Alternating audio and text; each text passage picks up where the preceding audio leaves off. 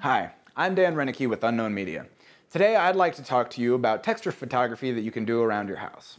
Now first off, what is texture? Texture is basically anything you can feel. Something like a, like a golf ball, all those bumps in there. There's a lot of texture in there. Now, you gotta, you gotta realize that if you were to take a golf ball and shine a light straight on it, you're not gonna really see the texture because there's no shadows. The lighting's all flat.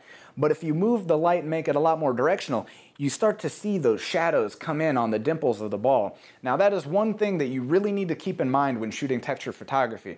You're, you're gonna want to see the texture very blatantly take the, uh, the skin of an apple to the, to the skin of an orange. Orange, it has that real beautiful rich texture in there, but if you were to shoot that orange from 10, 15 feet away, you're not gonna see it. What you're gonna wanna do, you wanna, you wanna get up in there and you want to take the picture of the orange real close so you get that fine detail and you can see that texture in there based upon the light and the shadow that is hitting that orange.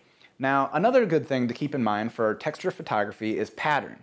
A lot of different textures will end up lending themselves really good to patterns. Something like a, like a wicker basket.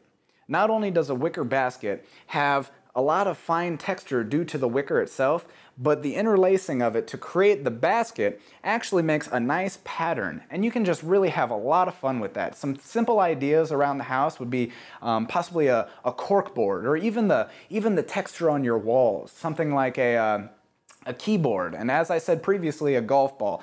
You can really have any amount of opportunity to take advantage of texture photography. All you have to do is look for it.